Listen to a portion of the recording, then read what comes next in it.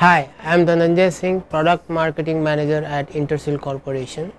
Here we are introducing a simple and inexpensive yet high performance single output low dropout voltage regulator.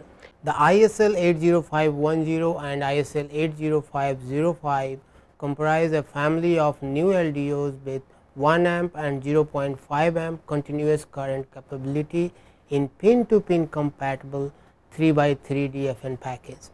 The 1 amp device operates from 2.2 volt to 6 volt while the 0.5 amp device can be used from 1.8 volt to 6 volt.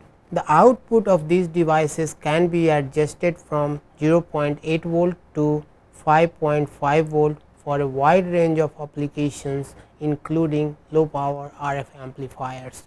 The ISL 80510 and ISL 80505 are designed to provide lowest dropout and best transient performance for sensitive loads. Their compensation loop is designed in a way to keep flat PSRR response over a wide range of frequencies, giving users added security in noisy conditions. To help our customers, Intersil has designed a very simple and easy to use evaluation board to perform basic evaluation.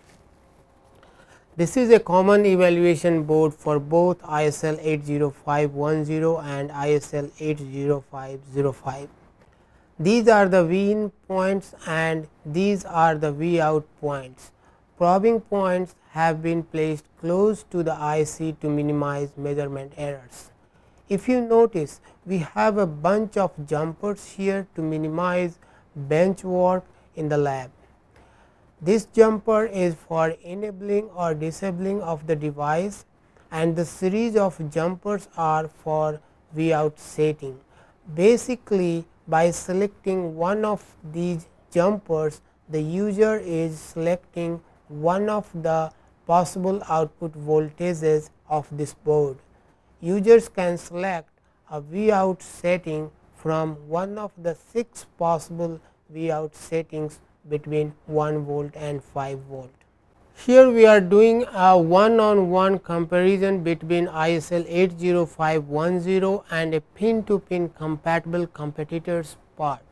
Since both devices are pin to pin compatible, we can use the same board for a fair comparison. This board has ISL 80510 on it while this board has competitors device. Let us take a look at the outcome when we compare the performance of these two boards after testing under similar conditions. Soft start ramp as you can see on this plot ISL 80510 provides a picture perfect soft start and shutdown ramp voltage, while the competitor's device shows disturbances in both cases. If we look at dropout, the ISL 80510 has a dropout that is almost half of the competitor's device operating under similar condition. Now, let us have a look at transient performance. As you can see here, the peak to peak excursion in competitors device is almost 9 times bigger than what Intersil's device is showing. When compared to similar products in market, Intersil's LDO family provides the best cost performance for your sensitive loads.